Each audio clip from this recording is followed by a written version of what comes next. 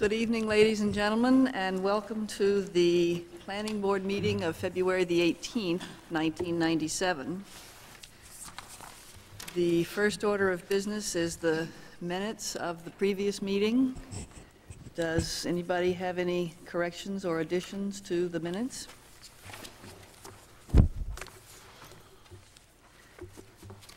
I have just one, or I guess to be absolutely accurate, two uh, corrections in the second paragraph on page one. Uh, Election of new officers followed. Mr. Wilcox nominated Ms. McKay as chairman. I believe the proper term would be chair, according to our rules. And in the third line, uh, Ms. McKay nominated Mr. Wilcox as vice chair. And I note for the record that the, I think the label over the podium here says chairman, and I've requested that we get a proper label of chair. Any other corrections or additions to the minutes? If not, do I hear a motion?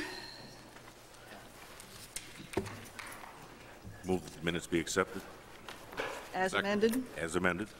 Second that. Fair enough. All in favor? Raise your right hand. All opposed? I'm It's- abstaining, I wasn't at the meeting. Okay, five in favor, one abstention. Okay.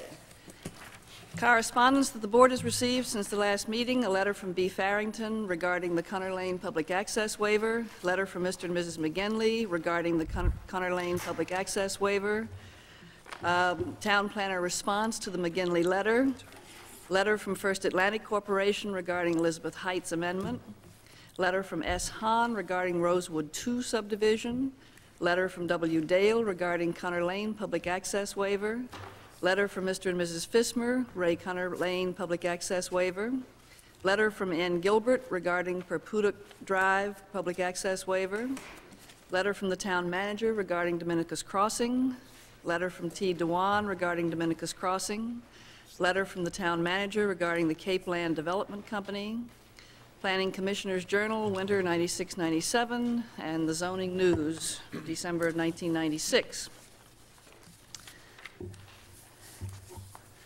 Okay, the first order of business um, is the Cunner Lane Public Access Waiver. The RAG Monks Trust is requesting a public access waiver for a new lot to be created at 21 Cunner Lane, which is a private road. The existing lot, U 14-26, is 7.6 acres, and a new lot of 2.4 acres will be separated from it. A public hearing has been scheduled for this evening. The plan will be reviewed for compliance with Section 19-4-2B of the Public Access Waiver. I thought, uh, Uh, Madam Chair, yes, I have to recuse myself on this matter because we have a conflict of interest.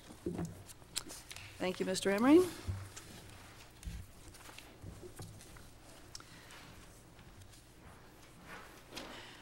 Would the applicant like to briefly introduce himself and describe the project?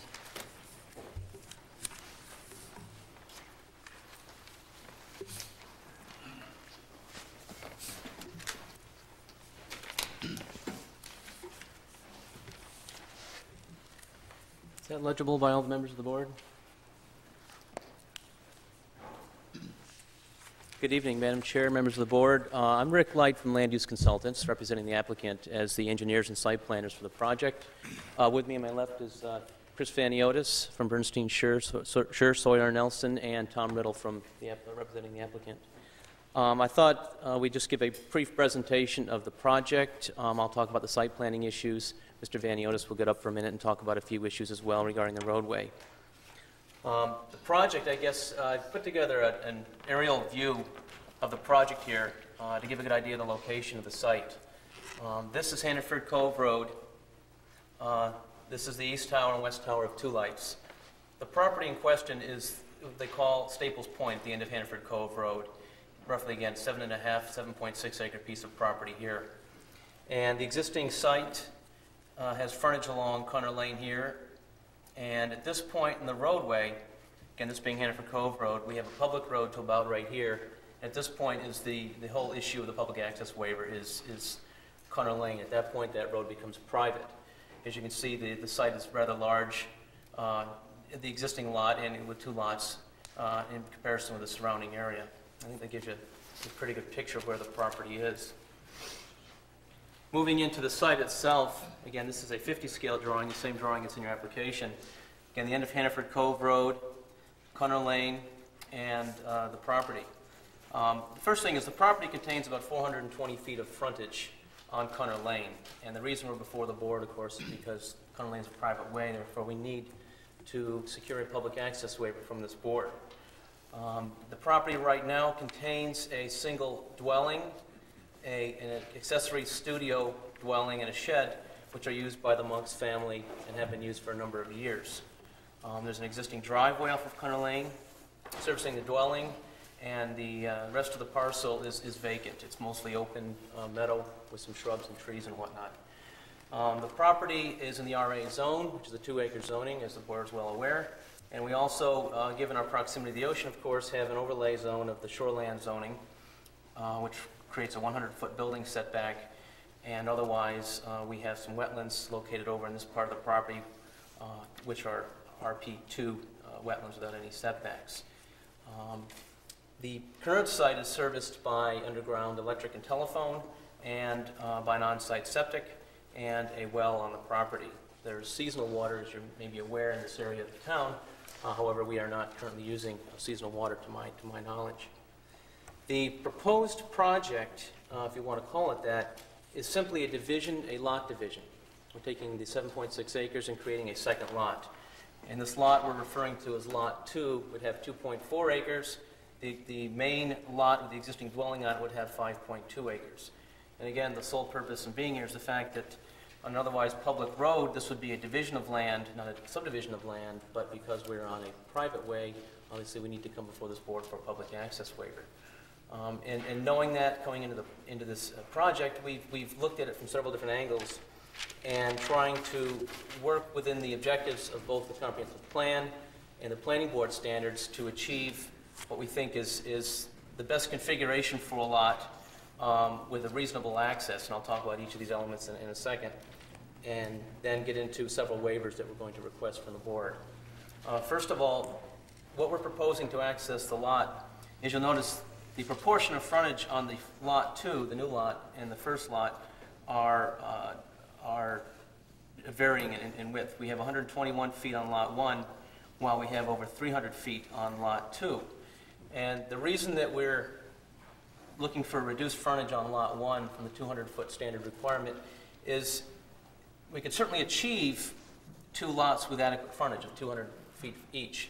But given the site, given the nature of, of the views out there, given the nature of the way this building is set back way on the point, um, this sort of configuration of a lot gives us a lot more flexibility in how a house could be sited and how we can create a building window.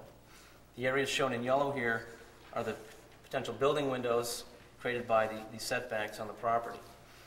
Um, In doing so, we looked at the best point of access into this lot, access being a real critical point with a public access waiver, and we've chosen provide an a easement up here for turnaround of emergency vehicles after consulting with the fire chief. And at this location here, we're proposing to have a driveway into the lot. Um, The easement that we propose meets the town standards and has been reviewed, I believe, by the fire chief. Um, So it is acceptable for his trucks to maneuver in, back up, and maneuver out uh, within the confines of the easement. Uh, The turnaround would be, again, to all bypasses would look like a driveway, but we've proposed a detail in the drawing which would allow a a wider width gravel surface, which would be loamed and seeded on either side, so you don't get the appearance of a large gravel or paved turnaround area. So in keeping with the nature of the neighborhood, very rural, very simplistic, um, we're not proposing a wide, massive turnaround, but something very subtle, yet meeting the standards, we think, of the town, the intent of the town ordinance.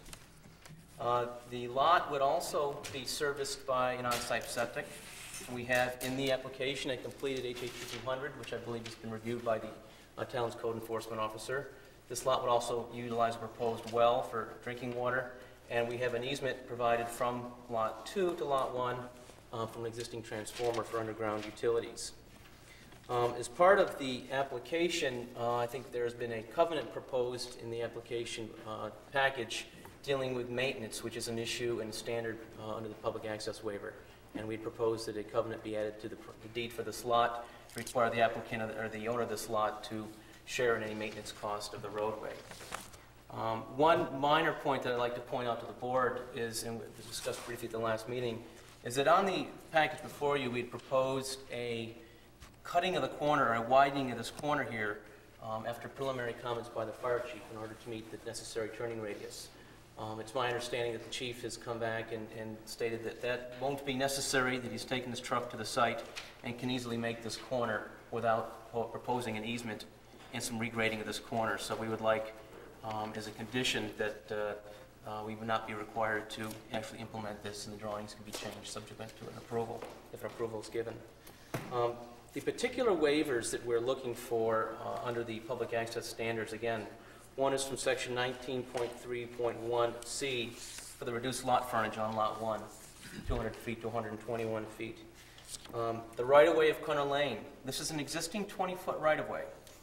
Uh, The existing travel way is approximately 12 to 14 feet, and it's gravel. The, uh, as you can see from the drawings, the actual roadway, traveled way meanders within and out of the right-of-way, Um, albeit we would like to uh, request a waiver from the Public Access 19.4.2 standards from 30 feet to a 20-foot standard. Uh, Again, under 19.4.2, the requirement for pavement width of 22 feet uh, was suggested in the ordinance. Again, we would like to maintain that no improvements be done to this roadway other than the turnaround, which again would be done on private property, on the applicant's property, providing an easement, so that the existing roadway can remain as is, um, with no paving being proposed. And the last waiver, there's a a notation in the ordinance 19.4.2, again requiring 50 feet of pavement from the edge of the travelway. Again, where the travelway is already gravel, we'd like to ask that a waiver be granted for the uh, paved requirement within 50 feet of the the right-of-way. Um, That pretty much sums up the overall site plan element. I think Mr. Vaniotis wants to speak for a second.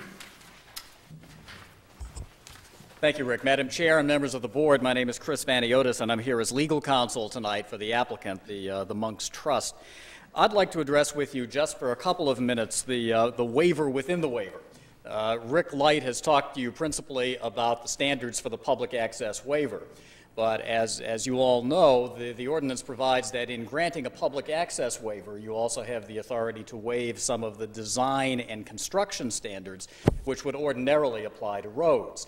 Uh, you've had some correspondence from, from some of the abutters which talk about whether this should be treated as a subdivision road serving three lots or a less than subdivision road serving less than three lots. It really doesn't matter because either way, we candidly admit that we can't meet those standards, so we do have to request a waiver from those design and construction standards. So that's what I'll talk about briefly.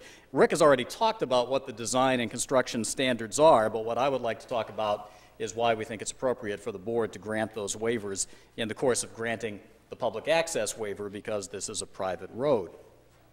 The, uh, the principal reason that we're requesting the waivers is that we propose no changes to Cunner Lane at all. We would like to keep it just the way it is, with a possible exception of any maintenance that has to be done to make it passable to correct existing conditions. Uh, one of the things that certainly we would be willing to consider is posting some kind of a performance bond so that in the event when a house is constructed on the new lot there is any damage to the road, the Monks Trust would be solely responsible for that damage rather than spreading it among all the abutters on Cunner Lane. But other than that, the waivers are requested because no changes to Cunner Lane are proposed in order to divide out this one lot. The construction and design standards, both in the subdivision ordinance and in the public access waiver provisions, really make sense only when somebody is proposing a new road, because then you can design it and you can construct it in accordance with those standards when you're starting with a clean sheet of paper. But when we're dealing with an existing private way, which has been in existence here since I think the 1920s, uh, it's clearly not possible to take that existing private way and increase the width of the right of way or to build a road within it that meets the current ordinance standards. So we're not starting with a clean sheet of paper, we're starting with an existing functioning private road and asking for the public access waiver on that road. Um, from my personal experience representing another applicant and from Rick Light's experience in, in this town, uh, we believe that this board has, with some consistency, taken into account the fact that on an existing private way, it is appropriate to grant waivers from what would otherwise be the standards for new construction in a new private way. The uh, criteria which the board is given to apply in granting these waivers from the road construction and design standards are at section 16.3.5 of the subdivision ordinance, incorporated by reference in the zoning ordinance. And what that section says, and I'll paraphrase, is that the planning board can grant a waiver from the design and construction standards based on practical difficulties. Now, here it's not only impractical to bring this road up to current subdivision or private way standards, but it is essentially impossible. Uh, it's a 20 foot wide right of way. It's been that way since the 1920s. There's nothing that we can do about it to make it a wider right of way, for example. Similarly, we can't possibly bring the pavement up to the current standards uh, because the right of way is too narrow to do that. Even more importantly, we suggest to the board that it is not desirable even to try to bring this road up to those current standards to change the road in any way, because that would have the effect of really changing the character of the neighborhood. Right now, it is definitely a narrow, low speed, rural, unpaved road, and that's the way we propose to keep it, to leave it as is. And I use the word desirable because that's another one of the grounds for granting a waiver in the subdivision ordinance if the waiver will result in a more desirable design, the standards say, than the normal subdivision road standards. Section 16.3.5 then goes on to say that in considering a waiver from the subdivision standards, and by reference then the private way standards in the zoning ordinance, there are four factors which the board needs to consider. The first of these is that the waiver will not create more hazardous traffic conditions. Now, we would remind the board that again, we're talking about adding one house uh, to an existing private way that serves a handful of houses. We'd also remind the board that for all intents and purposes, this is going to be absolutely the last house to use Cunner Lane. Because as Rick Light indicated, if you look at the size of all the other lots that are currently using Cunner Lane or have even potential access from Cunner Lane, they're already less than the two acres which the zoning ordinance requires for a house lot. So this is really the only piece of land on Cunner Lane that is big enough to be divided into two pieces. In addition, um, the easement that was given in 1965 from the Morrows to the property owners abutting on Cunner Lane, allowing those property owners to come across what is now the Snows property down here along the beach, is limited only to the five property owners who abut Cunner Lane. So there really is no concern because of the limitations in that easement that people on Sunrise Drive, for example, or anywhere else could utilize Cunner Lane for access as a result of this board's granting a public access waiver. I sent a letter to the board to the town planner and hence to the board, uh, describing where that easement deed was recorded in the registry, but I'm sure that's not as helpful to you as having a copy of it. So I have copies of that easement deed, which I'd like to submit to the board. Thank you. So you'll have it in your records. The, uh, the second standard in the subdivision waiver provisions is that the proposed waiver will provide more varied and imaginative subdivision layout and design. I, I, really don't see how that can be applied at all to an existing road. We're not designing a subdivision here, and we're not designing a new road, but we again suggest that as compared to building a new road, really the best design here is to leave Cunner Lane as it is. The third standard is that granting the waiver will secure substantially the standards of road design and construction required by the town's ordinances.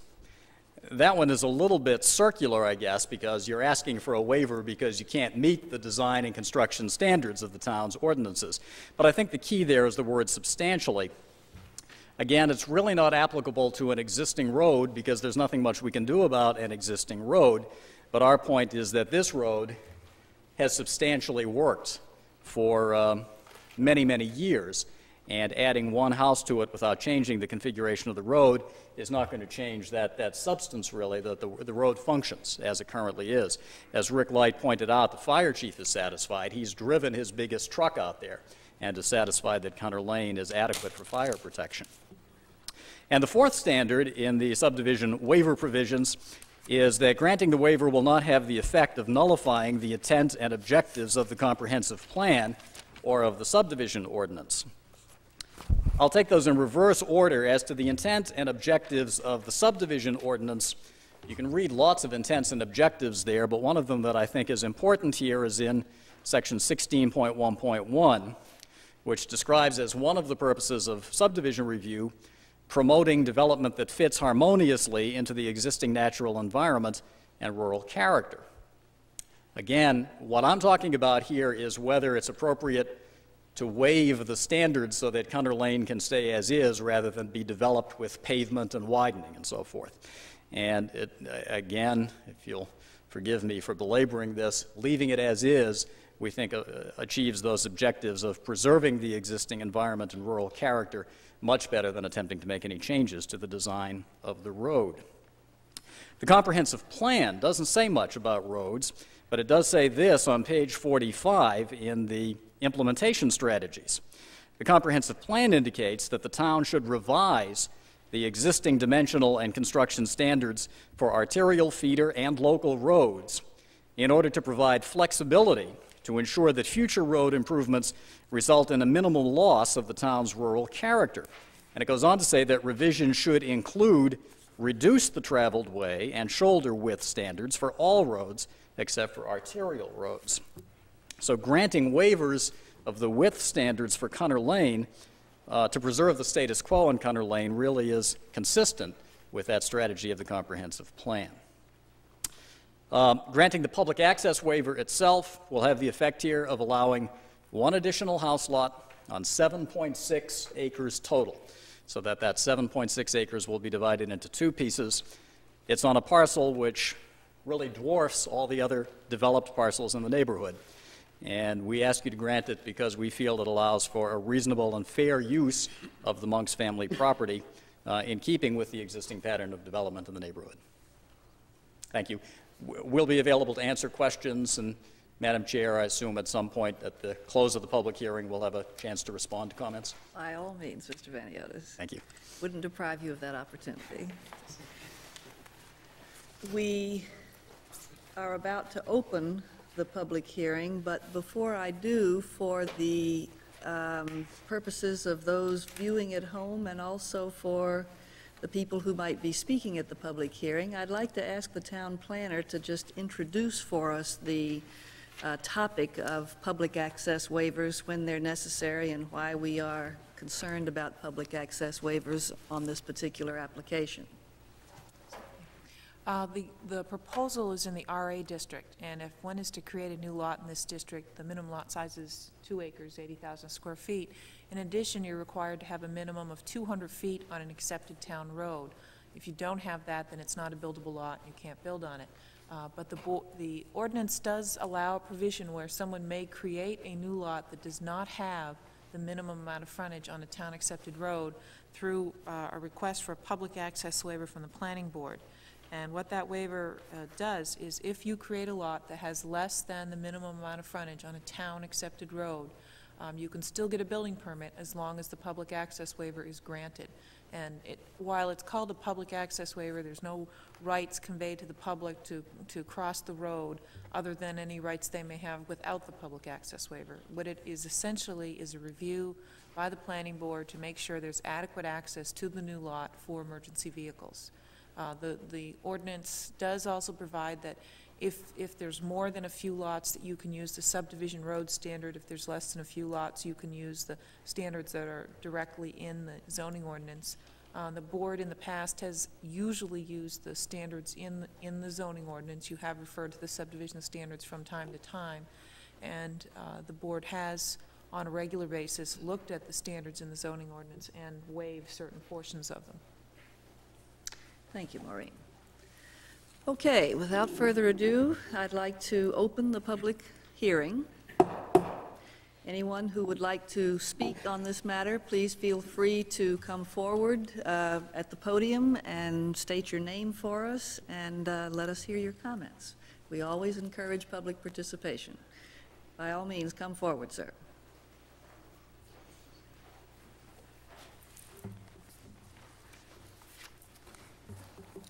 Would you please tell us who you are and where you live? Yes.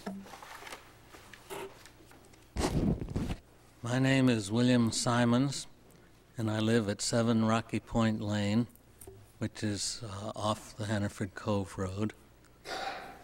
And I would like, with permission of the chair, to read a letter from Mrs. Elizabeth Peterson relative to this whole uh, motion.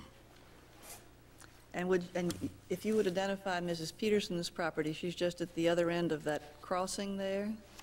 Mrs. Mrs. Peterson formerly lived on uh, Rocky Point Lane, right uh, on the shore. It's up in the upper left-hand corner, I think, right by the curve. I think it's right up, let's see. This is it. Well, anyway, that's all right, Up in Mr. this- Simons. up in Yes, this that's area. correct, right there. Yes. This is for presentation to the Cape Elizabeth Planning Board, 18 November 1997. Although I have been away from Hannaford Cove for a little more than a year, I still have great interest in what happens there affecting the ecology presently and in the future. My family built and has owned a residence there for an accumulation of 67 years. My own family resided there summers from 1944 to 1957, when we became year-round residents. I am still a Cape Elizabeth resident. During the 40 years that we lived in the Cove year, uh, year-round, and even before, we have seen the road, Cunner Lane, actually a causeway as it is, uh, as it is the divider between ocean and freshwater pond, totally washed out by heavy seas and high tides in spring, fall, and winter storms. Also, on occasion, roots from alders ringing the pond have blocked the, the flow of, uh, toward the ocean and caused damage to the road. Over the years, residents on the south side of the causeway have attempted and failed to get permission to protect it from the storm damage. Their desire was never to change the configuration of the road, but rather to act as a preventive measure. Thus, it seems to me that to make alterations which would unnecessarily would which would be necessarily required to achieve an accepted road would be inconsistent with the previous decisions and certainly be inappropriate for the fragile shoreline which abuts the road on the ocean side and the wetlands of the pond on the other side. Signed Elizabeth Peterson. I would like to add one or two comments to that. Um, I think what's being asked here is permission eventually to build a house. Now, I would point out that that Hannaford Cove area there, Staples Cove, is one of the few unspoiled spots left in Cape Elizabeth. And there has been no new construction. There has been extension of existing and renovation to existing structures, but we have not had any new construction coming in. Uh, I have seen the road washed out every three to five years. Uh, in the winter storms, it, it gets totally impassable. And under those conditions, regardless of turnarounds or anything else, I, I don't see how the um, uh, emergency vehicles can get down through that road there. Um,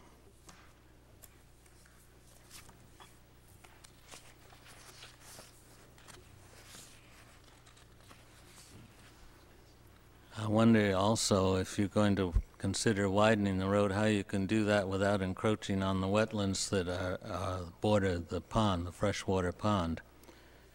I know we had tried in the past to get permission to do some kind of stabilizing and riprapping to protect from the ocean storms, and we're not allowed to do so. I would like to introduce to the board four photographs taken which show the road under uh, conditions where it has been washed out and made impossi- impassable. And I, well, shall I, would you care Yes, care to see just, these? uh, Start them down with Mr. Cotter, we'll pass them along, Mr. Simons. If you need any interpretation as to orientation from where those pictures were taken, I'd be glad to supply it.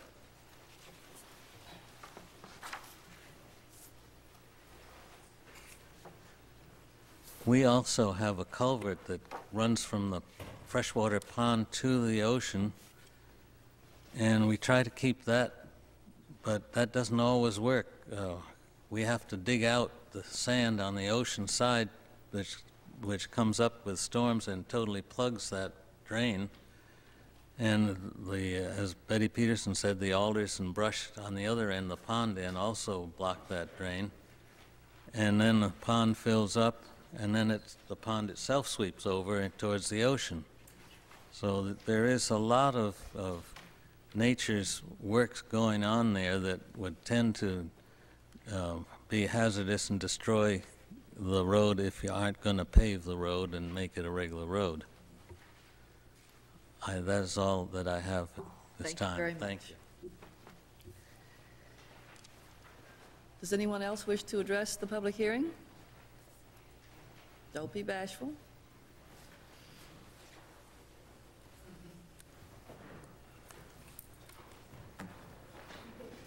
My name is Lorna Simons. I belong to the man that just spoke. And I would like to bring up a point here that was in the, um, you know, the Cape Courier. The Scenic View Overlay District includes land within the view sheds of these views. And if you go down one, two, three, four, five, the view towards Two Lights from Hannaford Cove. And I wonder if a house would improve that. Um, I'm trying to think how many times, at least twice a year, that road is swept clean by the ocean.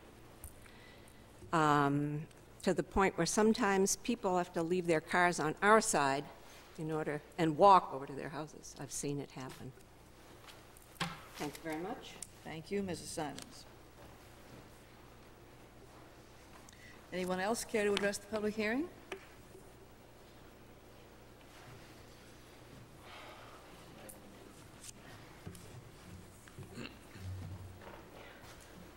My name's Tom Egan. I live at 41 Hannaford Cove Road, and I've owned that property there for 17 years.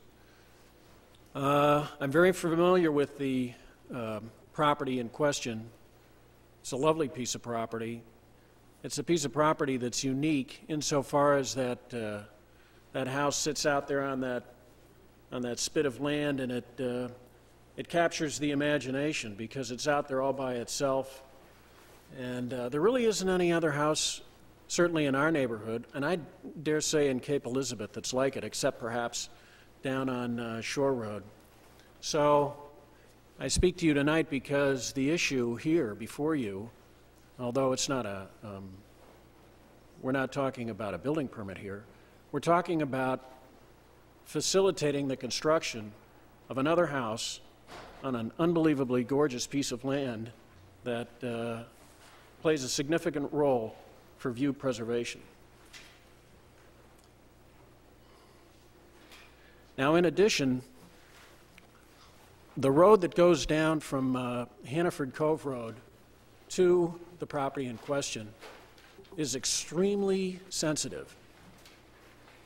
And I can tell you that after the construction company, the Murrays, come down and they fix that road at the expense of the people down there, it doesn't take but a week or two for huge potholes to develop.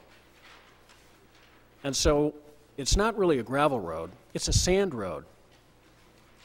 It's a sand road because it sits atop a um, sand dune. And that sand dune moves back and forth toward the ocean and then back toward the uh, salt, the freshwater pond almost uh, on an annual basis. Let's say it's every two years, the, the curvature of that road changes because of the winter storms uh, uh, and fall storms. And so if you grant the access waiver, you will be increasing the travel over the roadway to the extent of two vehicles for a 3,500, 4,000 square foot house, whatever they're going to build over there. Maybe four trips a day, five trips a day. That will increase the, the rate of deterioration of that little roadway. And that roadway does provide the only um, safety access from Hannaford Cove Road to the five houses that are over there. Um, finally, I think it's I think it's appropriate to look at the result of your decision, even though I, I don't know the exact standards that you're to apply here, but the result of your decision tonight will create the possibility of uh, building a house on a very sensitive piece of land itself, the ability of which could be is, is questionable with respect to handling the, uh, the septic from that uh, large dwelling. Now, I guess there's a septic permit that's been uh, filed. I wonder whether there's been any appeal to that permit to determine whether, in fact, the land can support the three or four bedroom uh, dwelling that's, uh, that's uh, anticipated. But based on what I know about that property, it's hard for me to believe that you could put a good septic system on it because it's so rocky. And it drops down very quickly to the ocean. So I would, I, I think it would be great if you could go down and take a look at that piece of property. Uh, finally, I'll say to my neighbors, the monks, that they have been wonderful neighbors. They've been very supportive of a number of issues that have arisen down on Hannaford Cove Road in the past. And while I personally uh, don't hold against anyone their right or claim to uh, develop a piece of property, I think in this case they're pushing it a little bit too far because of the sensitivity of the road, the proximity of the ocean, and the view preservation issue. And uh, so, for those reasons, I respectfully request that you deny the application. Thank you. Thank you, Mr. Eaton. Anyone else care to address the board?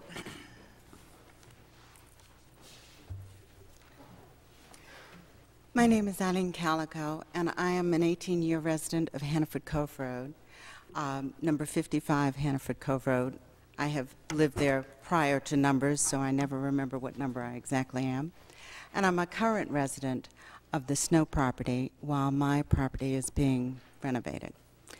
Um, I have firsthand knowledge of this lovely winter that we have had that's been somewhat of a non-winter, with the exception of the us who live or have had the privilege of living on Hannaford Cove Road and on Cunner Lane.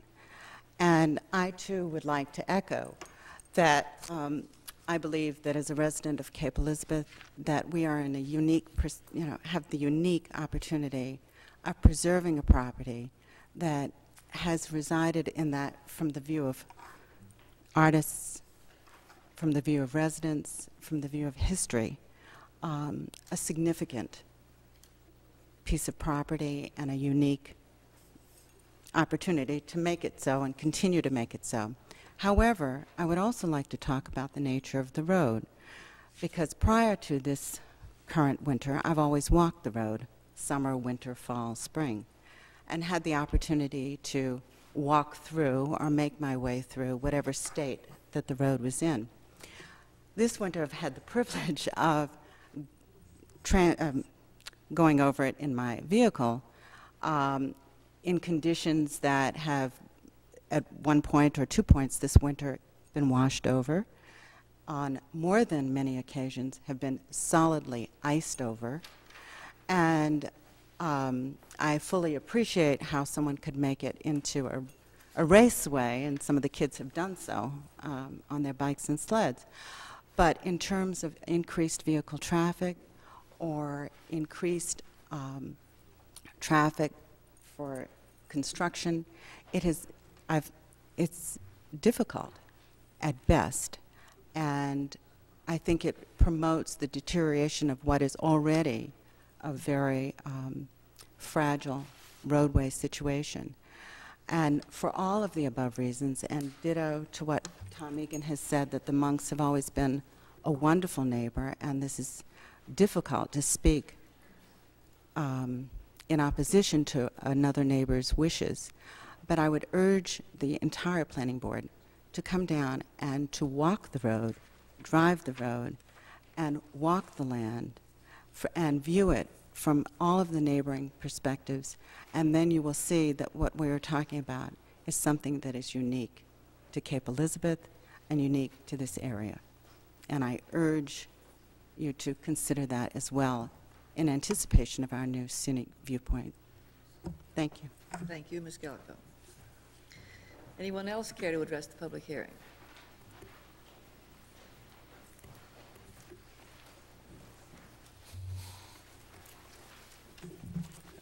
Madam Chairman and members of the board, my name is Bill Dale, and I'm a lawyer in town, and I'm here on behalf of Douglas and Patricia Snow, who are one of the five families that live on the far side of Cunner Lane, to speak in opposition to this application. I've sent the board a letter, which I think you all have a copy of, dated February 12th, uh, laying out some of our legal arguments and expressing generally the Snow's opposition. I'm also authorized tonight to speak on behalf of the Fismers, who also live I'll point here to the sideboard.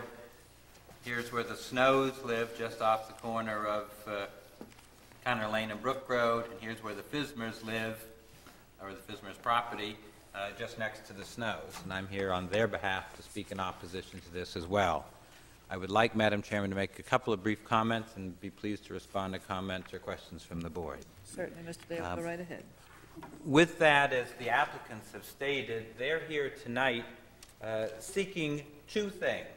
A waiver of the fact that their proposed new lot, so-called Lot 2, uh, is not on a public street, as your zoning ordinance generally requires, and a waiver of the fact that the residual lot, currently improved with the old Cunner Club house, won't have the required street frontage. While they're here for those two waivers from the general requirements of your zoning ordinance, uh, and that's fine. Your zoning ordinance through the so-called public access waiver provision allows for you to consider their waiver request on those two separate issues pursuant to a set of four standards, and we're going to, I'm going to address those in just a minute.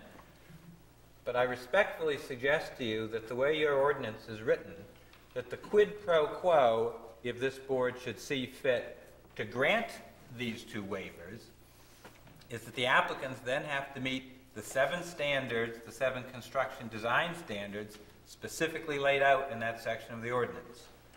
Seven design standards which these app, this applicant cannot meet. In particular, the requirement of having a 30-foot wide right-of-way and the requirement to have 20 feet of pavement.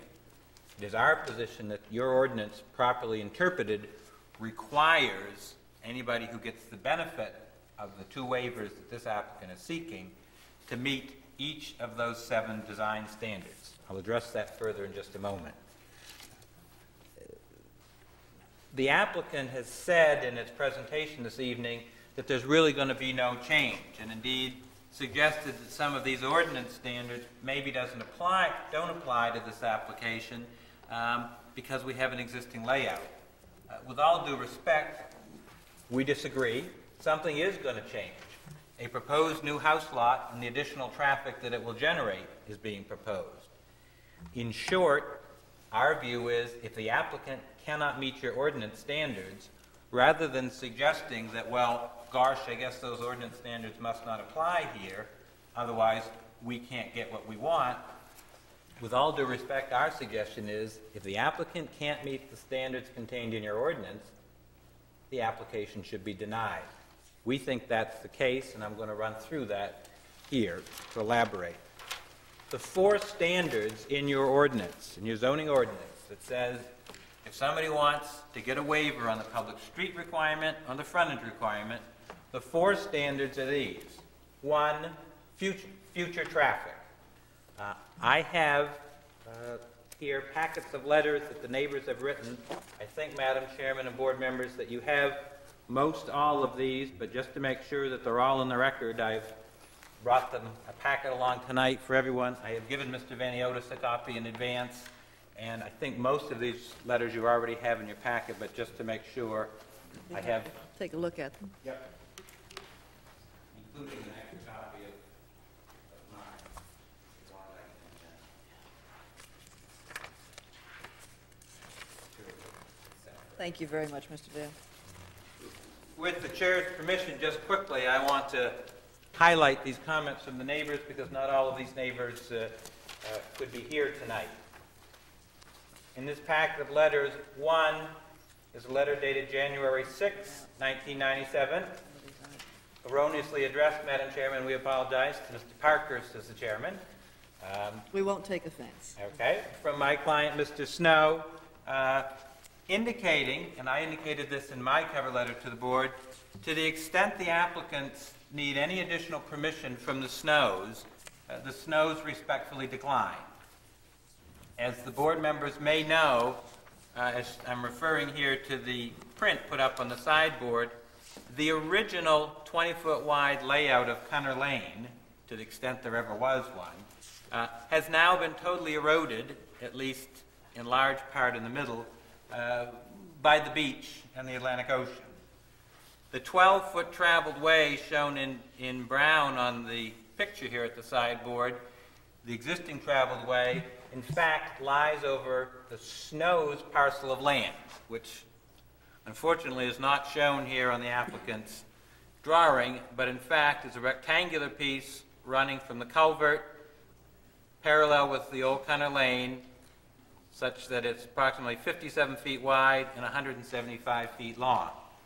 That piece of land, the Snows own in fee, as do they own in fee a little piece down here um, at the southwest, excuse me, southeasterly bend in the road, as well as their house lot. Um, So Mr. Snow's January 6th letter is to indicate that he is opposed to this and will not grant any additional permissions. Second, I have here a letter from Mr. and Mrs. Fismer, who own this property over here at the far end of Cunner Lane, also indicating their opposition and indicating that, in their experience, this portion of Cunner Lane right in front of Staples Cove Beach frequently washes out. I think uh, you got earlier this evening Mrs. Peterson's photographs showing the washout there.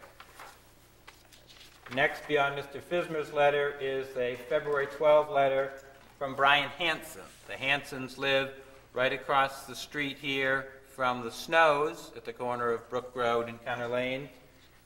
Mr. Hanson indicates again his opposition and the fact that the road in question has washed out so frequently over the last few years that on four occasions, major repairs have had to, been, to be made, including this winter when the culvert, which drains this little pond on the west side of the road into the ocean, the culvert frequently gets covered with sand and other debris from the ocean storms, and the neighbors have to go down and clear it out, and I think uh, one of the other neighbors spoke to that just a moment ago.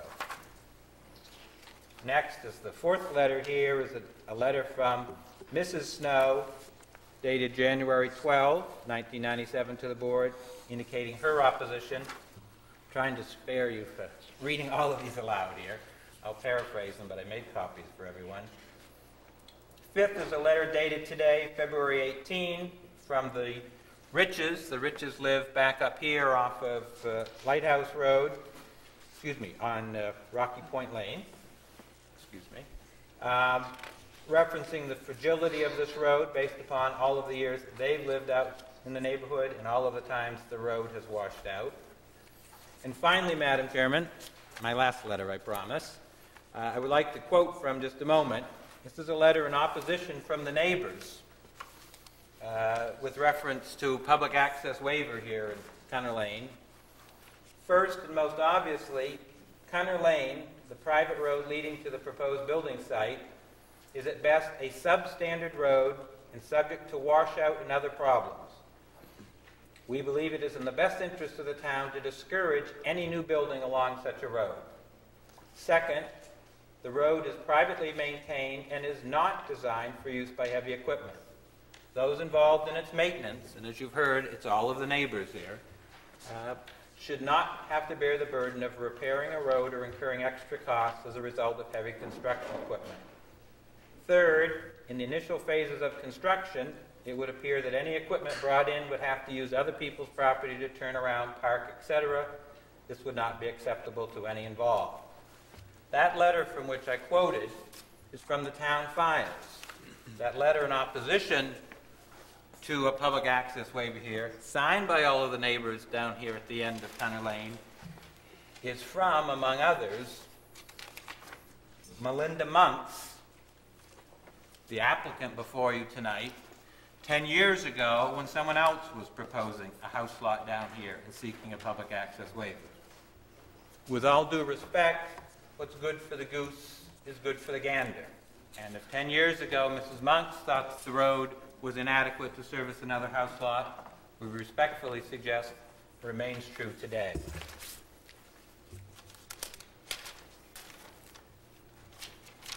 The second standard in your ordinance with regard to granting one of the two waivers sought here is reference to municipal services. Uh, I'll only repeat what the prior speakers have said. With the kind of washout that the uh, Peterson photo shows, to get a fire truck down here seems problematic at best. Um, furthermore, to the extent your ordinance requires, and it's somewhat unclear to me, that you apply the subdivision standards here, is my understanding that in fact the subdivision ordinance would require this uh, slight change in Cunner Road that is referenced on the original plan, but apparently is being withdrawn tonight by the applicant. Third, reference to the comprehensive plan. This is the third of the four standards the applicants have to meet. Uh, yes, page 44 of the comprehensive plan talks about reducing road rights-of-way and travel width and pavement width. It suggests, however, I think a fair reading of the comprehensive plan is that the ordinance ought to be amended. The zoning ordinance ought to be amended by the town council. That's not the prerogative of this board. It's a suggestion in the comprehensive plan that the town council do that in amending the ordinance. Until such time as that happens, and obviously it has not yet happened, I respectfully suggest you're stuck with the seven standards for construction that are in this public access waiver section, including the requirement for 30 feet of right-of-way, which the applicant does not have, and 22 or 20 feet of pavement, which of course is not there, and we, as the Snows, respectfully de- decline to give any permission for pavement. The other comprehensive plan issue is scenic view. As you know, on page 22 of the comprehensive plan, there is a map of the town of Cape Elizabeth and shows several especially important scenic views around town, which the comprehensive plan suggests ought to be preserved. One of them, as you may know, and I think somebody earlier tonight alluded to, is from the end of Hannaford Cove Road. And the best I can tell in scaling off the, the plan that's, that's in the comprehensive plan, uh, cuts across the middle of the monk's property. Um, we suggest another reason to deny this application, another reason the application doesn't meet the approval standards. The fourth and final standard, uh, board members, as to whether the two waivers should be granted, is adequacy of street construction. Here, as you may know from looking at the applicant's presentation, the applicant has the right to pass and repass over my client's property. Um, there is no right to pave, which we think is a requirement of the ordinance, and again, we respectfully decline to give that right. Similarly, the ordinance requires 30 feet, and in fact, at best, uh, the applicant has 20 feet, the 20-foot easement across the Snow's property.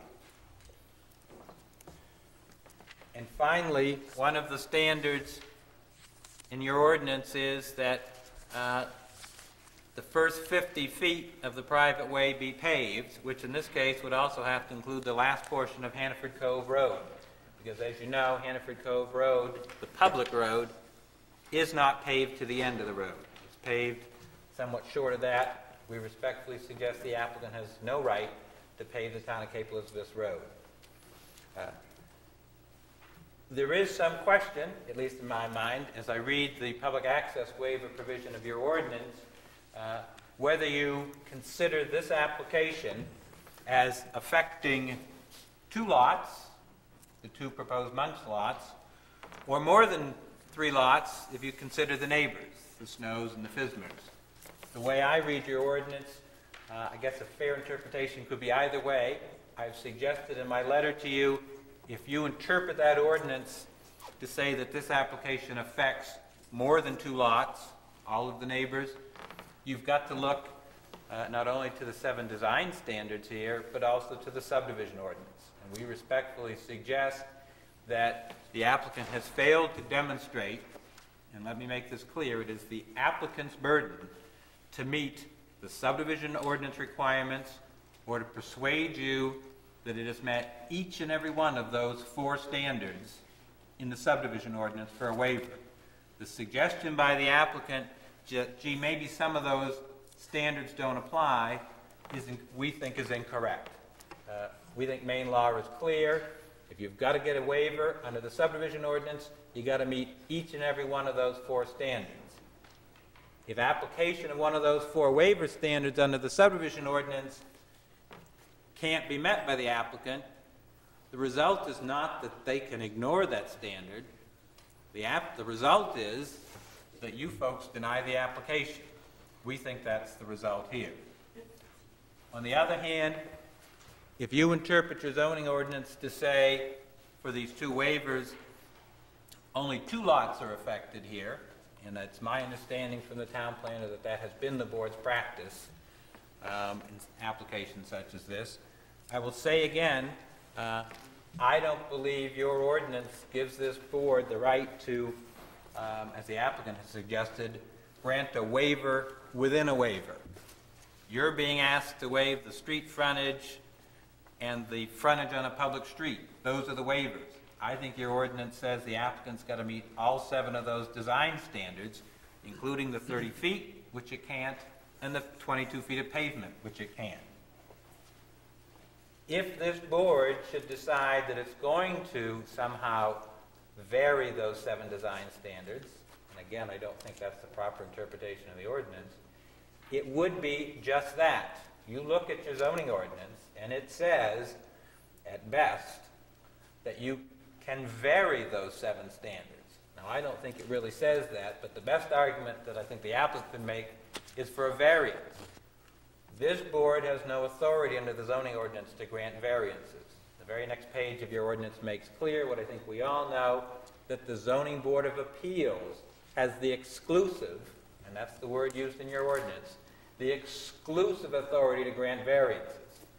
So I suggest to you that in considering the two waivers, your ordinance says, fine, if you look at those four standards. If you're persuaded the applicant has satisfied you in each of those four, and it meets all seven design standards, you can grant the so-called public access waiver. We don't think they meet the four standards, and furthermore, we don't think this board has a right to vary the seven design standards. So, for all of those reasons, um, we respectfully suggest that this application ought to be denied, and as Mrs. Monks herself said back in 1986, uh, this road is too fragile and ought not be required to service another house lot. Again, I apologize for being long-winded. I'm pleased to respond to questions now or later. Thank you, Thanks. Mr. Dale. Any other member of the public wish to speak? Seeing none, going once, going twice. Okay, let's close the public hearing. and I'll give the applicant the opportunity to respond to the comments that are made during the public hearing.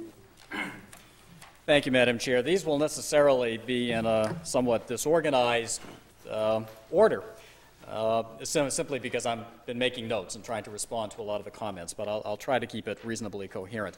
I think I'm going to start backwards and start with what Mr. Dale just said about the standards that you folks have to apply in determining whether or not you can uh, grant a waiver from some of these road design and construction standards. It's dangerous when you get more than one lawyer in the room, but I would like to take a minute with you just looking at your ordinance because I think the notion that this, this requires a variance from the Zoning Board of Appeals is, is just totally unsupported, not to mention your practice on this board for as long as you've had these public access waiver provisions in the ordinance has been that the planning board has the authority under the ordinance to grant waivers from the standards. Now, yes, the ordinance uses the word variance, but it uses them in this context. The language is that the adequacy of street construction for lots serving three or more lots or dwelling units shall be determined by the standards set forth in section 16.3.2 of the subdivision ordinance, and the following standards, that is the ones in the zoning ordinance, if more specific or more strict, provided variances from such standards. And I think that's clearly referring to both sets of standards subdivision and zoning ordinance, whichever happens to apply to the application. Variances from such standards may be granted by the planning board, not the zoning board of appeals. And then it goes on to say, pursuant to section 16.3.5, those are the four subdivision standards which I talked to you about earlier. Mr. Dale indicated that he thinks that we're saying none of those standards apply. That's not what we're saying at all. They do apply. What we're saying is that when you look at the language of certain of those waiver standards in the subdivision ordinance, it's obvious they were intended principally to ap- apply to new projects. So that when the subdivision language on waivers says that the planning board needs to find that the proposed waiver will provide more varied and imaginative subdivision layout and design, clearly it's very difficult to apply subdivision layout and design to one lot on an existing private way. But we're not saying that standard doesn't apply. We're saying that you look at it and try to figure out what it means in the context of a private way and a public access waiver. And we think what it means is that you look at whether the situation would be better by making the road comply with the subdivision standards or the width standards for roads under the zoning ordinance, or if you're better off to leave the road alone. And what we're suggesting is it's clear here that everybody is better off if the road is left alone.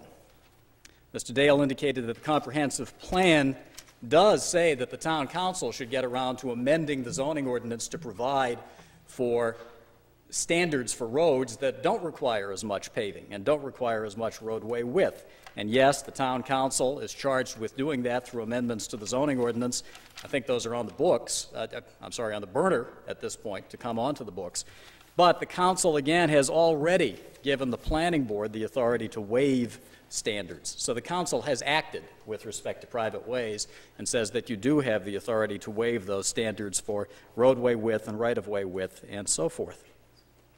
Um, with regard to the 1986 letter that was trotted out here, uh, some of you may have been on the planning board back in 1986, I'm not sure. I've read about that application in the newspapers. It was a highly controversial application for somebody who wanted to build a house basically right underneath one of the lighthouses at two lights and proposed to use Cunner Lane to get access then over Sunrise Drive to go up at right angles over Cunner Lane. Uh, one of the big issues there was whether that person had any deeded rights to use Cunner Lane, and the answer was no. That person didn't because the deeded rights to Cunner Lane end at the end of Cunner Lane. Anne Melinda Monks, by the way, is a resident of the property, but she's not the owner of the property. The property is owned by the Monks Family Trust. Uh, it's been suggested that somehow the applicant needs permission from the Snows to make some improvements to the portion of the road which passes over their property. Uh, First of all, we do have a deeded right of way to use that, and as holders of the easement, Maine law is clear that somebody who has an easement to come and go over someone else's property also has the ability to make reasonable improvements to the road in order to be able to continue to come and go. But that doesn't matter because we're not proposing to pave it, we're not proposing to make any changes to the portion of the road which passes over the Snow's property. Regarding the waiver for Lot 1, we don't really need that. As, as Rick Light has explained, we could draw the lot line in such a fashion so we could have two lots, each with 200 feet of frontage. There's more than 400 feet of frontage along Cunner Lane on this property. But the best design is to make lots of a reasonable shape instead of having some kind of a strange jog coming out along the front of one of the lots to get 200 feet of frontage on each. So the real waiver need is because this is a private way. The fact that we're asking for a waiver from the 200 feet on Lot 1 is simply to achieve a better design. Uh, same property, same result, two lots. There's been a lot of talk about the house and whether somebody who wanted to build a house on Lot 2 would be able to build because of what people have described as the environmental sensitivity of the site. If those are real concerns, they're going to have to be addressed by whoever applies for a building permit for this house. Uh, this plan has identified the location of certain of the wetlands on the site and identified a building envelope which appears to meet the requirements of the town zoning ordinances, keeps everything far enough away from the identified wetlands. There is a proposed septic system location which passes under the Maine State Plumbing Code and which has been reviewed by the code enforcement officer. But the point, I think, is that the issue tonight is not the house that somebody may build there someday. The issue is whether Cunner Lane can appropriately serve one more house on this existing road. We've heard about the view shed provisions in the comprehensive plan. And yes, indeed, the comprehensive plan does talk about preserving views of two lights from Hannaford Cove. The view of the lights themselves from the end of the public road and Hannaford Cove uh, road is, is certainly not going to be affected. There is existing houses that currently interfere with that view. There's no doubt that putting a house there will change the view, but it's certainly not going to obliterate the view of the ocean. We heard one gentleman stand up and talk about how great this house looks. Well, it's certainly possible there may be an equally great looking house built on the second lot if the public access waiver is granted. But I think the key point here is that while the comprehensive plan talks about preserving the views, it hasn't imposed any view restrictions on building properties in Cape Elizabeth at this point. There's nothing in the zoning ordinance that says that people can't build a house if it's going to have some impact on somebody else's view. And we think that it's reasonable in this neighborhood of relatively small lots, all developed with houses, that the owner of 7.5 acres of land could divide that in two so that there would be two houses on an average of three and a quarter acres each. Finally, I'd like to address the comments that were made about the fact that the road is fragile, that it has washed out in the past, and that it may wash out again. I think the board needs to keep in mind that the Monks family is one of the neighbors to this proposed lot. And the Monks family which relies exclusively on Cunner Lane for access to its property, has experienced all those problems over the years and historically has participated with all the neighbors in making the necessary repairs to the road when winter storms have caused damage to the road. If somebody were proposing to take completely undeveloped land out at this point and build a new road to serve it in this location, and that road were subject to washouts, certainly somebody could look and say, gee, maybe that's not the best location for a road.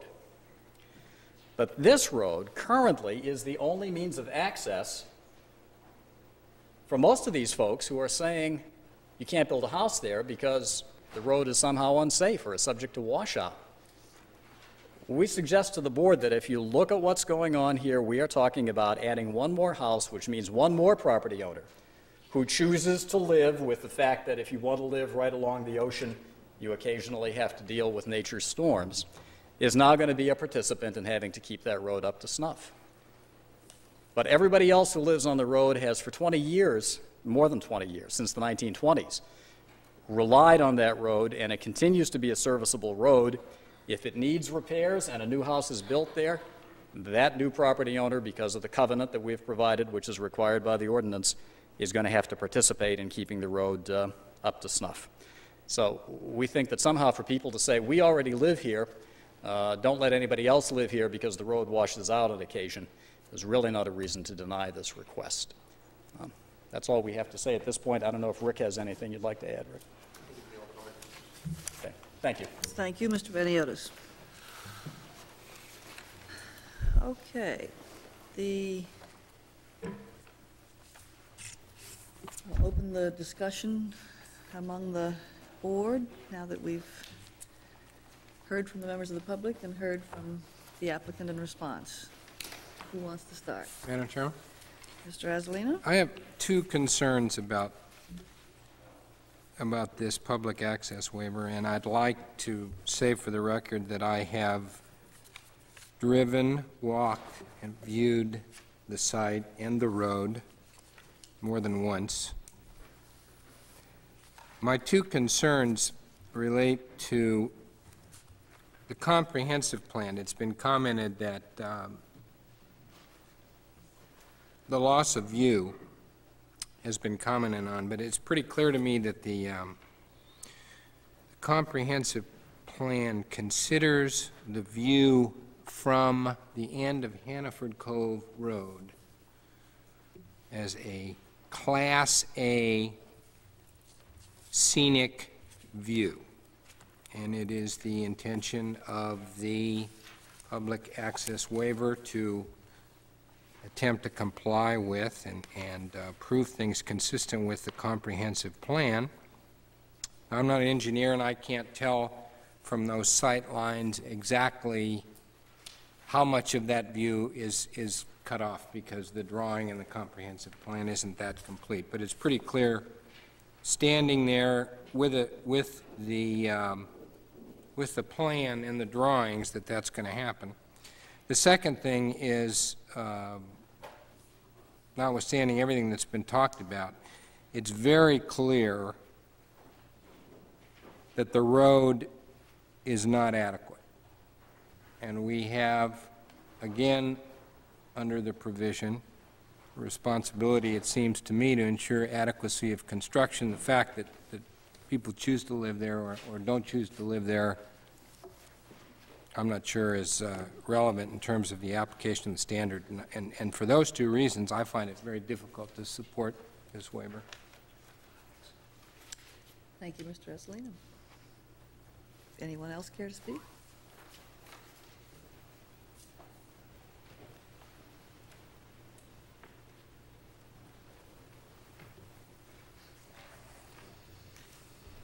Mr. Wilcox? Um, In reviewing the uh, technicalities of our seven standards versus our four standards versus our notebook full of standards, uh, one of the things which uh, I would like to point out at this point is the uh, historical practice of the board that uh, with regards to physical standards and physical planning, this board always in the past, since I have been on it, has uh, determined the implementation of the seven standards of a public access waiver on a case-by-case basis with regards to their appropriateness on any particular application. Uh, We have seen minimum pavement widths in anywheres from 10 feet to 16 feet, uh, as opposed to the 22 feet listed. Uh, We have seen uh, deeded rights of access way less than 30 feet. Uh, We have given leeway in paving and grades, uh, and in sight distance and, uh, and gutter drainage, although we usually hold steady on, on that one. We have always looked at the, uh, the burden, if you will, placed on, on existing conditions by the addition of more, more construction. And in the, and since the uh, language in the public access waiver uh, gives uh, a cross-reference, if you will, uh, to the standards of the subdivision ordinance, uh, but also allows at such time, at, at the same time, sort of in the same sentence, for variances from those standards by the planning board.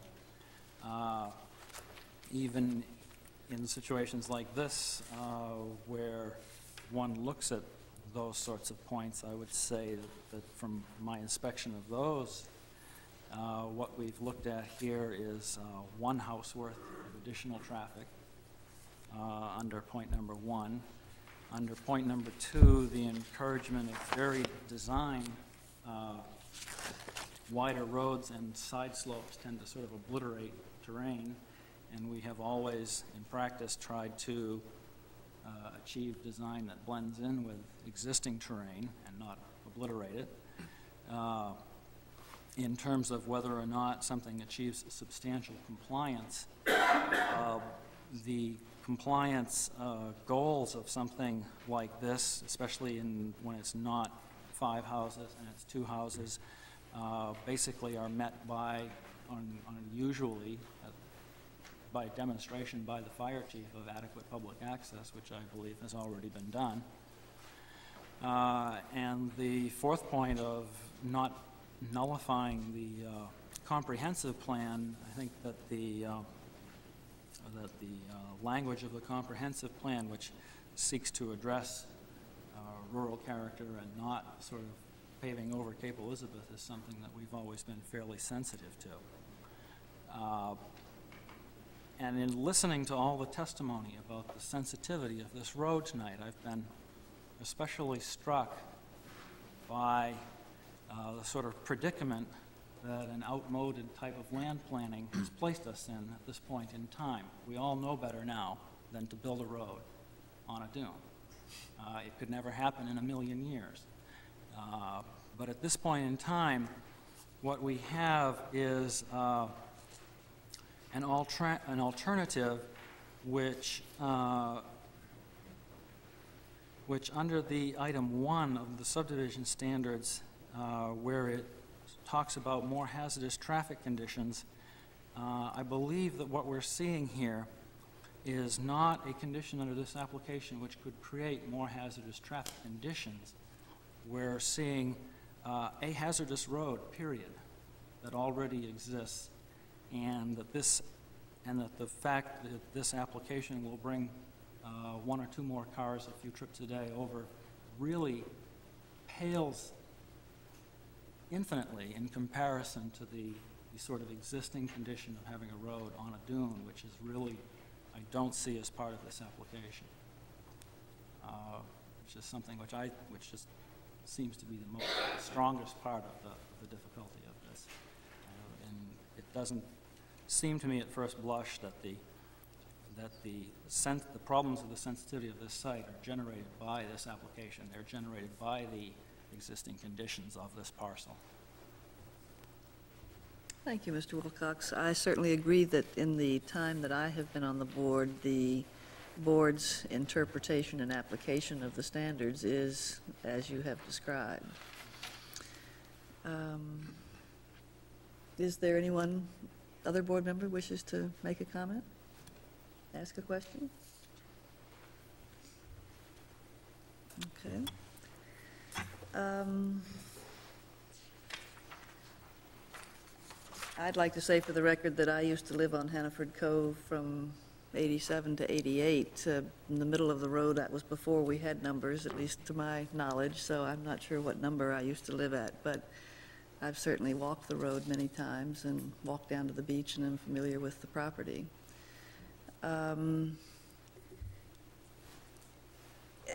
It has been, well, let me, let me keep on going. One of the uh, people who spoke um, suggested that before we make a decision, that we uh, actually have a site walk of the property. Mr. Azalino has indicated that he is well familiar with it. I believe that I am. Is there anyone who is interested in a site walk before we proceed to make a decision? Mr. Parkhurst is nodding no. I don't hear a a groundswell for that, site. so fair enough. Um, Is there any other discussion with respect to this application? Mr. Wilcox? Madam Chair, I, I have a question for the applicant. Mhm. Uh, One of the, one of the uh, points that uh, Mr. Vaniotis made, uh, or Mr. Light, I can't remember which, was that uh, a performance bond would be considered for uh, damage to the road during construction, and I would ask how that could be done if the new parcel is being built by somebody other than the applicant. We, uh, we suggested that because we saw that in some of the correspondence that came from some of the neighbors, the issue was raised, and I think it was raised in, in comments tonight too, that gee, if you have to bring heavy construction equipment in, might that do some damage to the road? And it might not be equitable in those circumstances to make all, all the abutters pay for it. I think we'd have to work with the town planner and staff mechanically to do that, but certainly the Monks Trust is willing to post a performance guarantee of some sort, letter of credit or bond or escrow deposit in a reasonable amount, just as if we were doing a site plan or subdivision project, and to agree as a condition of approval that that would remain in effect until someone, whoever it is, constructs the house on, on the new lot. Uh, At that point, once the house was constructed, it could either be drawn on or surrendered back to the Monks Trust if there were no damage to repair. So, so we're willing to work by, I think we'd have to look by analogy to the, to the subdivision mechanism uh, or to the site plan mechanism. Um, And I, I think, if I understand correctly, typically the planner and the town manager work together to put that kind of performance guarantee in place. So we would be willing to accept that as a condition of any approval. Mr. Parkhurst. At the last meeting, um, I asked the applicant if they would be willing to limit um, construction pending the new um, ordinances uh, to 35 feet. Would the applicant be willing to possibly limit that even further? The the height of any... The height of any construction on that new lot, um, out of consideration for the neighbors? I, uh, I stood up prepared to answer the question about the 35 feet, and, and we did go back and look at the ordinance, and in fact, the, the proposed house site would be in the shoreland zone where there's already a 35-foot limit. Uh, I'm going to have to talk to, you may have to give us a minute or two on that. Nobody's designed a house here yet, so it's a little One bit other thing difficult I want to discuss as well. um, Would the applicant be willing to limit uh, the, or deed restrict the remainder lot, the one that's going to have the um, short frontage, if you will? Um, Lot They won't come back at some point in time, and try to extend the road onto their property and then cut off one more lot, because I believe they have the acreage to do that.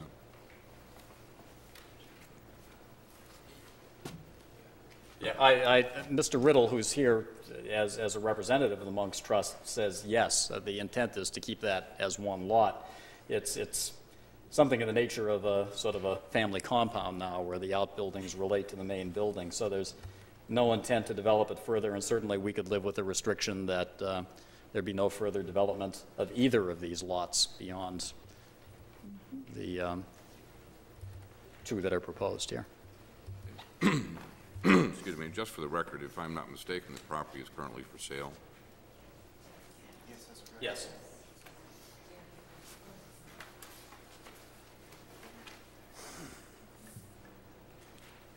Nothing further. Mr. Aslino. Uh, Madam Chairman, one other uh, comment. Um, This is in reference to what, what um, Mr. Wilcox was talking about. And perhaps someone else would like to comment on it, but it seems to me that, that notwithstanding the, the problem caused by the inadequacy of an existing road, that the issue here is not whether we have one additional vehicle three or four times a day, it's whether or not the, the, the board has responsibility to not make the condition worse, exacerbate the problem. And, and uh, while that isn't necessarily written anywhere that, that, that I can speak to, maybe, maybe, maybe somebody else can, uh, but I certainly think it's an issue.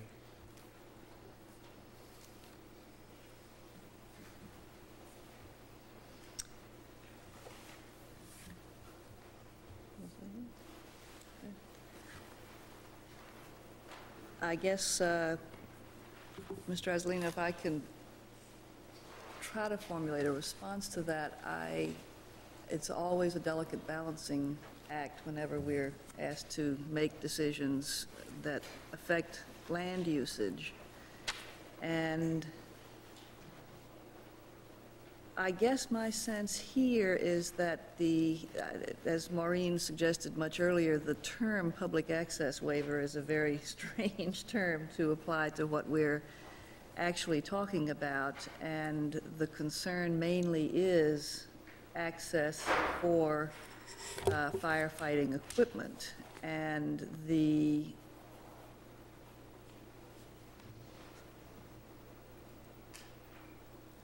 since the existing conditions exist and have been utilized for a long time, it's, um, and, and since the fire chief has indicated to us that he has no difficulty with the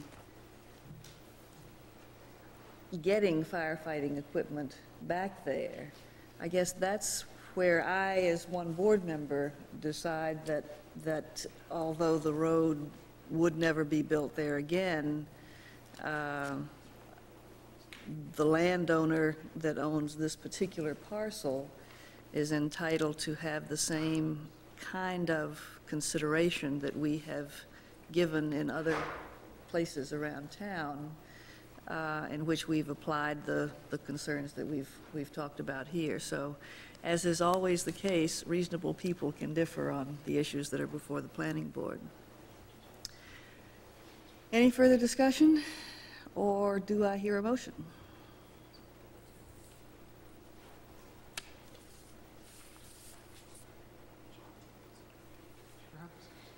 I have an item of discussion where I can Please. clarify Please.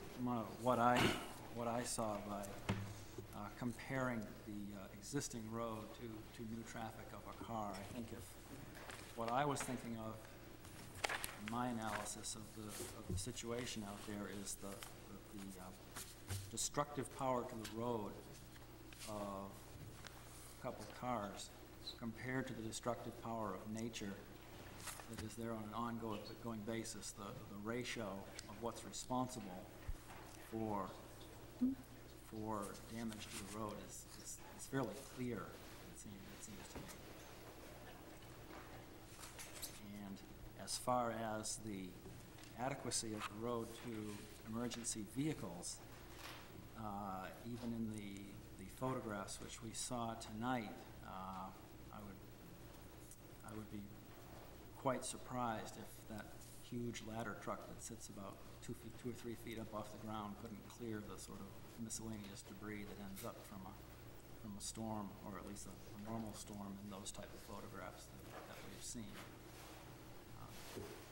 Those were the sorts of Heaven knows, comparisons that I was thinking of. heaven knows what sort of damage that particular Could vehicle get would worse. do Could to. Imagine it being worse, though. Mhm. Thank you, I think that does clarify things. Any further discussion?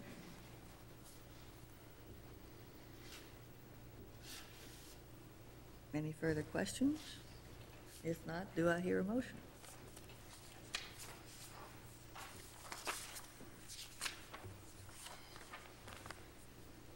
Well, I- Madam Chairman, I'll, uh, theref- I'll make a motion that, uh, therefore be it ordered that based on the plans and materials submitted and the facts presented, the application, Excuse me, Mr. Aslino, if you'd start with the findings of fact at the bottom, that would help, be helpful. that's, that's where I thought I was, I'm sorry. Say that again, what would you like me to do? You want me to read from there into the record? When you say finding of fact? Yes, From that point? starting with number one. What's your motion? The RAG Monks Trust is requesting a public access waiver to split a lot from U fourteen twenty-six located at twenty-one Cunner Lane, which requires review under nineteen four two B of the zoning ordinance. Fire chief has determined that there is adequate access for the ladder truck, the largest town emergency access vehicle, without increasing the width of Cunner Lane, a private road. The application substantially complies with 19-4-2B Public Access Waiver. Now, If I may stop there, Madam Chairman, at what point do I interject my disagreement with that statement? Well, you're proposing the motion, so you can propose whatever motion you'd like for us to consider. May I- But- Sure, May I but- make a suggestion? Please.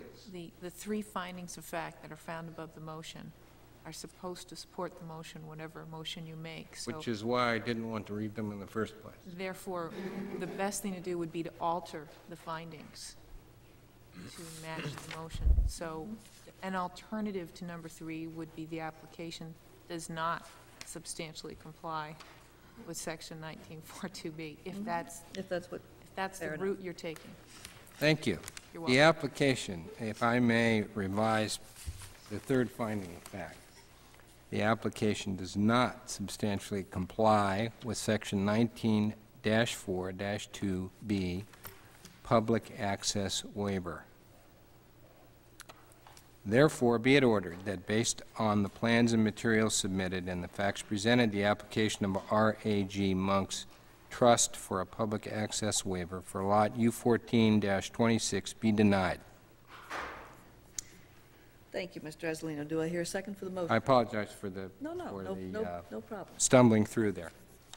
Do I hear a second for the motion? I will second. Mr. Cotter seconds. Any discussion of the motion?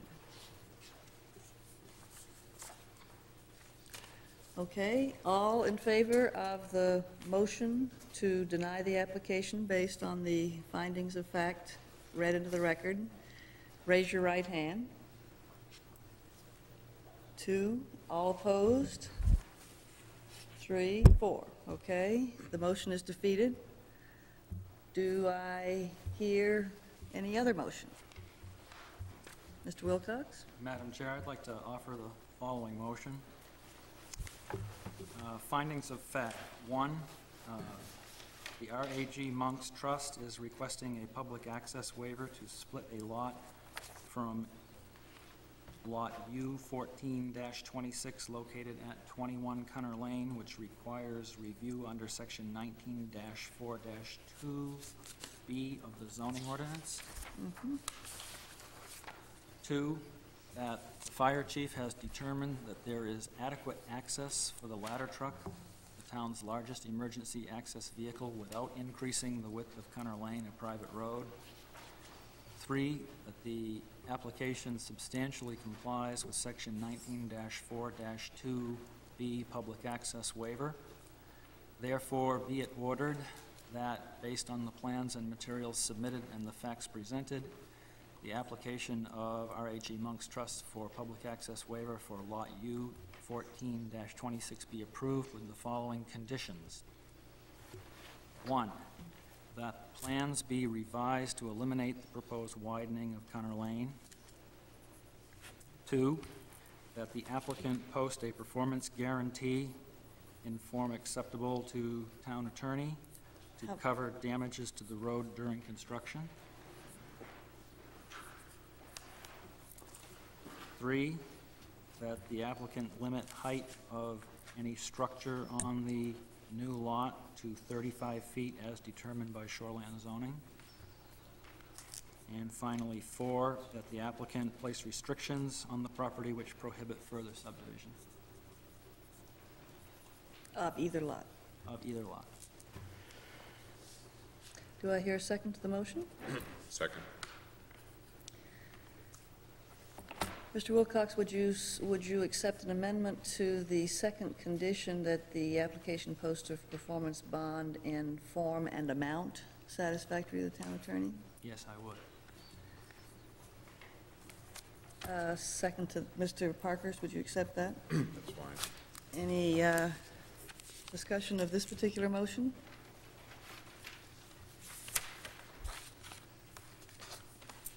Well, hearing no discussion, uh, all in favor of the motion as stated, please raise your right hand. All opposed? Four to two, it carries. Thank you very much, and thank you all to the public for providing the information that we needed to help us in making a decision. The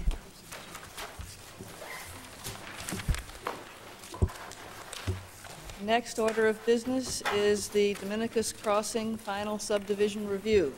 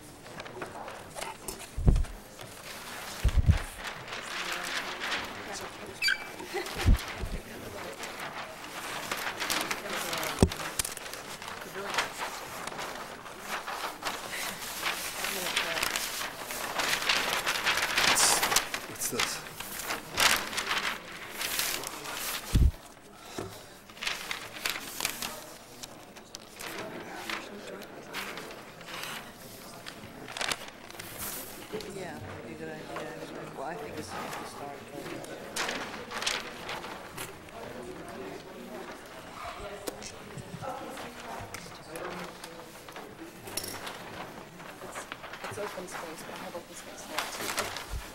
Shows affordable housing locations. That one says that. The name is the district. This shows affordable. Chris Benson.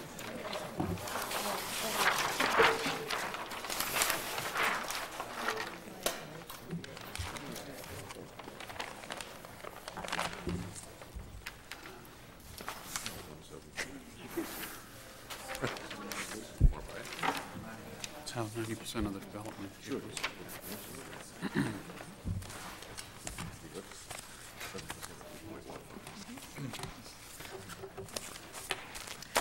All right, Mr. Dewan, if you're ready. The Dominicus Crossing Limited Liability Company is requesting final subdivision review of Dominicus Crossing, a 97-lot plus one multifamily unit subdivision located in the area of Wells Road and Sawyer Road. The applicant received preliminary subdivision approval in August 1996 and then submitted its application to the state for review. The application will be reviewed for compliance with Section 16-2-4C, Final Subdivision Review. As the planning board knows, the first order of business tonight is to uh, determine completeness, so perhaps, uh, Mr. Dewan, if you'll, uh, I- my inclination would be to ask the town planner to simply give us a a rundown in terms of the checklist for completion and see what uh, we think might be missing, and then we'll give you a chance to address the, the board and get going. Maureen? In your packages, under attachment one is the submission checklist, and this comes out of Appendix B attached to the subdivision ordinance, and it's the section of the subdivision appendix checklist that deals with final submission plans. So just to remind the board, they've gone through the first step, which is preliminary review, and now we're on final review. Um, Under this item, uh, the items that I've identified as partially incomplete are number four, written evidence, evidence of required federal, state, and local permits. Uh, The applicant has submitted the DEP permit unsigned. I'm told that he has the, the signed one this evening, and we'll be handing it out. Um, The only other item is under 7B, written dedication agreements.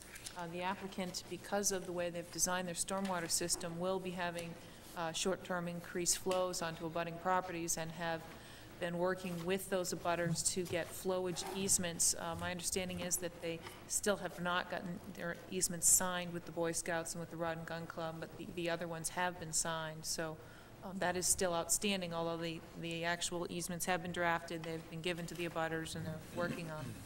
Those are the two items that I've identified as potentially incomplete. Thank you. I- I would like to take this opportunity to, uh, to pass in, a- this is a fax copy of the DEP board order that was signed um, and we- which we just received. Uh, Mr. this is- Dewan, for the record, just identify I'm yourself, sorry. if you will. My name's Terry I know Dewan. you've I'm a been here landscape once or twice architect before. in Yarmouth, Maine, and I'm here on behalf of Dominicus Crossing LLC.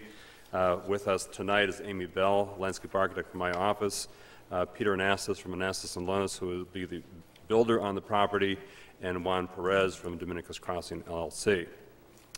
If I may proceed. Yes, Please. Thank you. Um, It is really good to be back here. Good to see you. Thank you. I realize that I've seen all but one of you, and it'll be at the board's pleasure how much or how little you would like uh, for a presentation tonight. We are prepared to give um, as much information as you need. If you decide that you want to continue with the discussion beyond determination of completeness, uh, there is obviously a lot of issues that still need to be discussed. Uh, if you feel that you just want to determine complete- completeness tonight, that's fine also. Um, We do have the DEP site location permit in hand. Uh, We will be giving you a copy of the, uh, the original when we do get it, but we did get this fax. It's dated February 14th, and it was signed uh, for Ed Sullivan by Martha Kirkpatrick. Uh, In addition to this, we also have a signed copy of the flow easement uh, that Maureen mentioned before. This one is from Mr. and Mrs. Butterfield.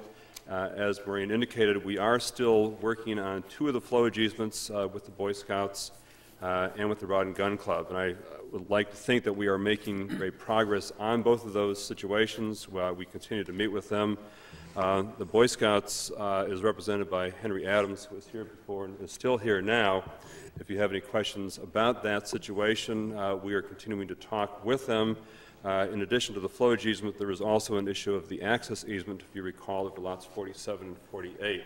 Um, We are having a site walk with them within the next week to go out on the site to look at the point of access onto their property to address some of the concerns they have for limitations that were placed on the the easement, Um, and we hope to have those resolved very quickly. At the same, same time we're doing that, we hope to finalize the discussions with the Boy Scouts uh, on the issue of the flowage easement. Uh, With the Rod and Gun Club, um, we have met with the Rod and Gun Club once at their, uh, their monthly meeting last month. I believe that Juan has scheduled to go back with them the next week or so. Thursday, okay. So we are continuing our discussion with them. So we, we anticipate that we will be successful in, in gaining those uh, two easements. Uh, One other piece of information that we have, which we'll be submitting tonight, is a corrected letter from Ross Cutlets from the Cumberland County Soil and Water Conservation District. If you've read the initial letter, there were a couple of um, places in uh, Ross's letter that seemed to make reference to another project. So I think there was a case of using boilerplate. So anyway, this has been corrected, and so that's the uh, third piece of information which we are turning in tonight.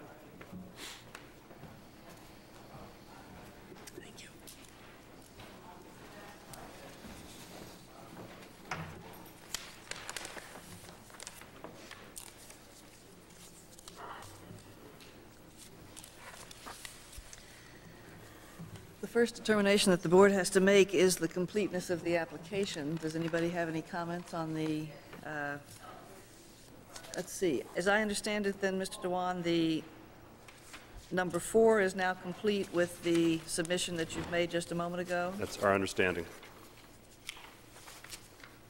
Yeah. And the only then item which would be missing would be two easements out of four for the, the flowage easements that, that still need to be made. Um, How does the board feel with respect to completeness with those two issues still outstanding? Mr. Emery? Madam Chair, uh, I think for the purposes of reviewing the application under final subdivision, the, uh, the applica- application is substantively complete, uh, and any issues with respect to final easements can be made part of the uh, conditions of final approval or, or brought to the board uh, before we issue final approval. In addition to those issues, uh, I also recall that during the preliminary design, we discussed under affordable housing the issue of the, the a preliminary description of the buildings or floor plan, which has been submitted in this evening's package and building elevations, but we were also were concerned, as was an abutter, about how those might fit on the designated lots. And in addition to those, because once again, we are under cluster provision, not under a standard lot size with standard setbacks, we'd ask for prototypical lots, uh, not, certainly not, we don't want a site plan for every lot, but we wanted a couple of key lots, uh, would be, have an affordable housing lot and some lots typical to, I think, a particular current concern, for example, to Mr. Parkhurst was a Phase One, uh, where the, the lots are fairly, the, the the setbacks are minimal and the lots are fairly small along the roadway. and we were looking for, I believe you submitted some sketches as part of preliminary design. I think that would be helpful to have those included as part of the final design package as well. And certainly any additional changes that have happened because of, I, I don't believe these are the same floor plans that we saw under the preliminary subdivision. No, that's, that's correct. I have, I guess, one other question for the planner. Uh, We have not received final comments from the engineer, town engineer yet. Uh, What, obviously, this is a large amount of work for the town engineer to review, and they've actually been working with the applicant for some months. Steve Bradstreet at TY Lin will continue to do the review for the, for the town for this portion of the project. What they were asked to do for this meeting is just provide a letter of completeness. And as soon as he finished that, he has started uh, the actual technical review. So my expectation is if the board deems the application complete tonight and moves on uh, at the next meeting, there will be a much more substantial letter from the town engineer that is the typical kind of things you see about changes that need to be made to plans, consistency, those types of issues. And obviously, if the, if the flow adjustments do not become a reality, there's going to have to be some adjustments in the stormwater concept. Thank you. Thank you. Is, uh, is there anyone who has uh, difficulty with the board's determining the application complete this evening? All right, then if there is no further discussion of that issue, could I have a show of hands? Would everyone raise a right hand if you uh, agree that the application is complete, or substantially complete at this point? Okay, unanimous. Uh, Mr. Dewan, in light of the time, it's about 12 minutes to 9, the uh, first part of the young. program took a little bit, night is young, yes. I certainly don't, I'm not intending to, to uh, end ahead of time, but perhaps um, for the benefit of the board and also for those viewers who are watching us at home, perhaps you could give us an introduction at this point to what's happening in terms of the final subdivision plan, and we'll probably get into much more detail at the next meeting. Sure we will. And, and because we do have a new member, I will, um, bear with me if I do seem to repeat some of the things which you have heard more than once in the past. That's Uh, okay. It's, it's Okay. been a while, we don't mind uh, having our memories uh, helped. I may be jogging my own, too. Um, One of the things that we had to do as part of the site location development permit was to write a property description, which is on page seven of the application that we submitted on January 31st. And this pretty much outlines the intent of the project, uh, the breakdown of the number of houses, the phases, the roads, talks a little bit about the utility system, the open space component. And what I'd like to do is to, to go over that, paraphrase somewhat, and to show you, just to refresh your memory, uh, what it is that we're trying to do out here. Um, This sketch right here is the one that you saw the last time. It's a scale of one inch equals 100 feet. Uh, As part of the application project uh, package, we uh, reduced all the, the information down uh, to this size right here, so everything fits onto to one page. And this is a scale of one inch equals 200 feet.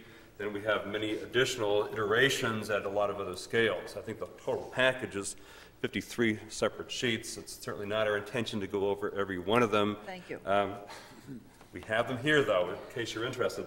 Uh, We do have a few other drawings. If you are specifically interested, for example, in the design of the, uh, the common open space, uh, the town green that will be done as part of Phase One, we do have that rendered, and we could talk about that. Uh, There was a specific question that Maureen raised regarding Lot 22, which will be in Phase One on Wells Road. Down here, uh, we did a little rendering of that and can show you uh, in some detail how we responded to Maureen's questions. Um, Maybe if we could try and get through some of those discussion points that Maureen raised tonight, I think we will accomplish quite a bit, because she does raise a lot of uh, points regarding the lot access, the whole question of street trees. I think we would like to have some positive direction before we leave here tonight, because if there is a sense that we need to make some adjustments, we would like to have the opportunity to do that between now and, and the next meeting. Um, so, getting back to the overview. Uh, basically, the project has not changed uh, substantively as you saw us the last time. Um, the number of lots remains the same. Um, We still are looking at 97 lots with 98 residential units. Um, One existing house that is owned by Juan Perez on the Wells Road. Uh, There's an existing barn which will be on the lot next door. Uh, There's a ridge, there is now one apartment um, above the garage in this barn, and there'll be a second one added to it as part of this application.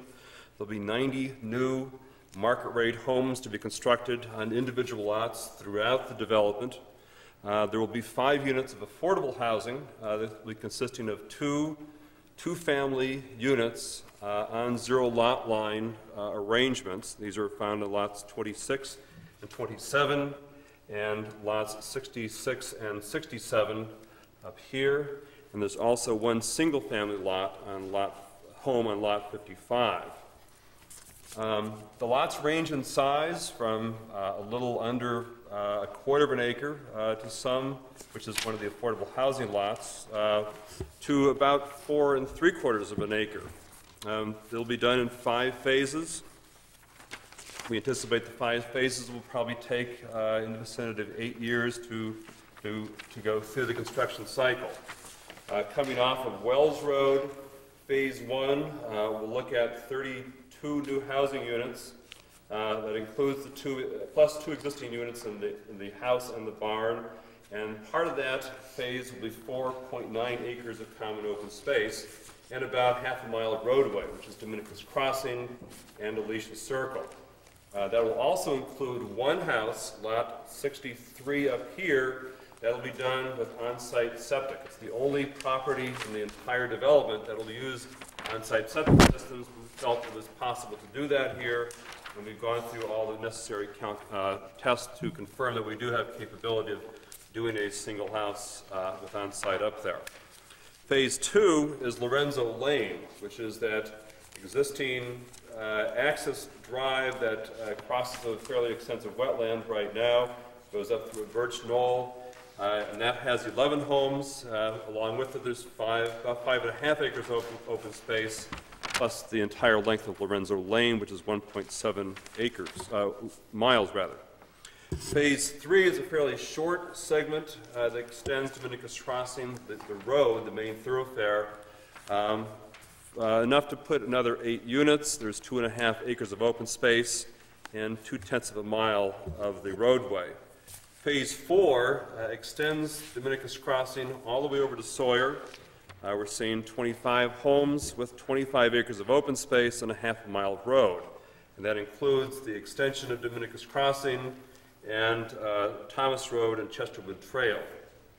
The last phase, phase five, which is up and through here, uh, has 20 new home sites on half a mile, of, half a mile of new road, Layton Road and Arabella Way, uh, and that's surrounded by 62 acres of, of, common open space. The entire property uh, is 200 uh, plus acres. We're giving a little under half of that, about 100.5 acres of land to the town as common open space. Um, as you know, we, are, uh, we have submitted plans for the development of the open space. Uh, one drawing shows the uh, depiction of where trails will be located. We have a half basketball court. We have a common open space, a common green as part of phase one. We have a small, smaller common green as part of uh, phase four. The half basketball court is sort of right in the middle of the development as part of phase three. Uh, an extensive series of sidewalks will go throughout the entire development. We are preserving quite a few existing trails on the property. All in all, if you count the sidewalks and the trails, I believe there's five miles of, of pathways that will be developed as part of the, the open space component. Uh, one change I know that uh, the town manager has pointed out in his correspondence with us is the involvement of the land trust in the development of the project. Uh, we have addressed that issue in a memo that we sent back uh, to the manager, which is part of the, the application package to you. Uh, I think we made it very clear that as we went through the, uh, the application before the DEP, which included the site location development and the application for freshwater wetlands alteration, we found that we were uh, in a, uh, a situation where we had 1.43 acres of wetland fill, which was actually down substantially from where we started initially. But because we had that amount of wetlands, we, we were above the magic 20,000 square foot, which puts us, puts us into a compensation mode, we had to set aside at least an 8 to 1 ratio of land as permanent dedicated uh, uh, wetland. Uh, we are setting aside 35 acres of wetland as part of the 100 acres of common open space. Another requirement that DEP had was that this wetland had to be protected by some mechanism. Uh, and in talking with Mary Beth Richardson uh, and other people at the department, uh, they felt that working with a group like the Land Trust to put a conservation easement on the property to protect the wetlands would be the preferred we, way uh, of seeing the wetlands protected. And as a result, we entered into discussion with the Land Trust, uh, and you've seen as part of the application package the conservation easement in draft form uh, that we've submitted to you. Uh, there has been some additional correspondence uh, between uh, the manager in our, in our, office that's resulted in a conversation today uh, with John Green from the Conservation Commission. Uh, we have requested a, an appearance before the Conservation Commission to talk about the details of how the conservation easement would affect uh, the use of the open space, the development potential in the open space, and so forth. I know that at their, their previous meeting, John told me that they started to discuss the details of the easement. Uh, we are prepared to talk in more detail about uh, this development uh, at their March 13th meeting. That's correct. Um, other than that, the, the use of the open space, the amount of the open space, uh, the type of activities that will happen within it are essentially unchanged. The only thing that really has changed between preliminary approval and what we, where we're at right now is the involvement of the, the Cape Elizabeth Land Trust uh, as a holder of the conservation easement. Um, we have, uh, as, as Tom indicated, uh, taken the, the issue of affordable housing to the next step. Uh, our TELEC architects who have been working with us on at least two or three different iterations of the design for the affordable housing have come up with uh, a prototype that can be applied to each of the three situations where the housing will be built. Uh, we feel it's a very attractive house, one that will lend itself very nicely to the neighborhood, uh, both as a single family home and as a a two-family attached home. The, the two-family attached homes, of which there will be two, are designed to look like large or medium-sized single-family homes and very much in scale with the other homes that will be anticipated within this neighborhood. So I think that's probably as much as I could say right now to keep it uh, within the realms of brevity. Um, we do have a lot of additional information we could talk about. Um, if you'd like me to talk about Lot 22 and the street trees, we could do that right now, but I guess I'll turn it back to you, Madam Chairman. I think that would be fine unless someone, unless another board member feels, uh, I, I would like to get some way into the uh, discussion, so please proceed. Okay. Okay, Maureen uh, raises the question on Lot 22. This is uh, one of the lots on Wells Road, this uh, lot is encumbered by wet ponds in the center of the lot. The driveway of the lot is shown from the Alicia Circle. Let me just put this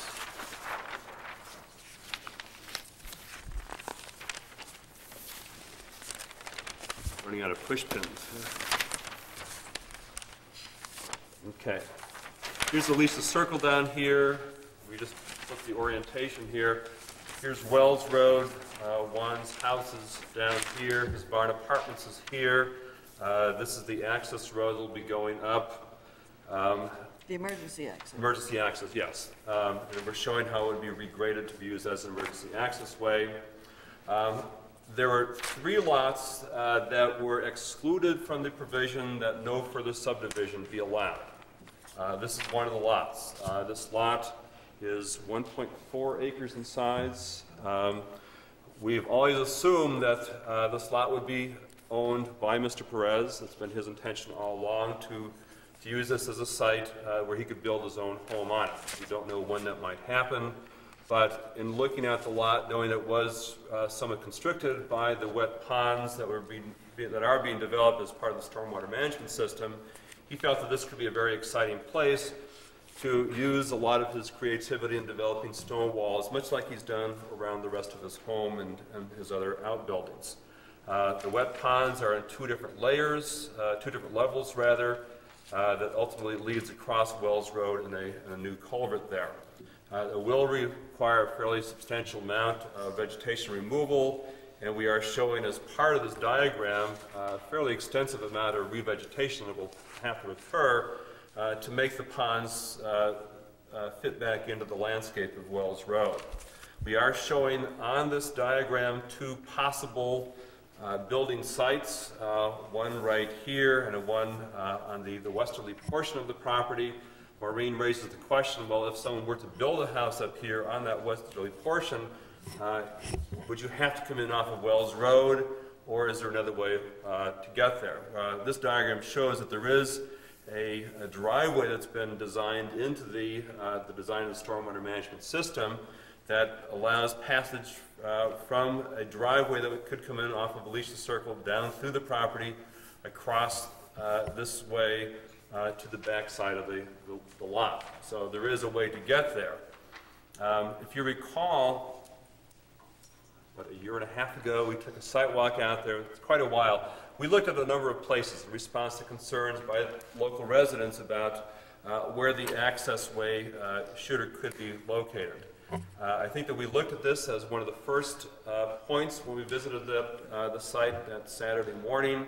Uh, we looked up and down. I think we felt at that point that there was a crest in the road that technically probably could be made into a, a suitable place for a, a driveway, uh, but we felt that because of the proximity to the houses across the street, uh, to the access way uh, down to the, to the river, the need to clear additional trees in here, probably wasn't the best location for a, a major entranceway into the development.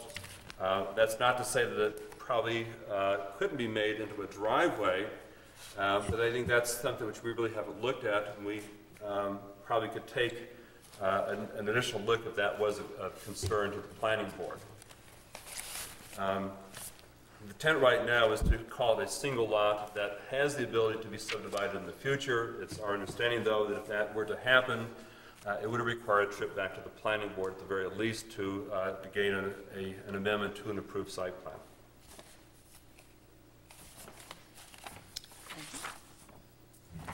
Board have any questions about that, or please continue? Okay. Uh, street trees. That's um, sub- subject is near and dear to all of our hearts. And I know that as we got into the discussion during preliminary, we always talked about the need to have street trees, both preserved as many as we could and planted uh, on the site. Uh, we also talked about where the tree should be located. I think that uh, we recognize the town's desire, at least the planning board's desire, to locate the trees within the median strip, that fairly small strip of land between the sidewalk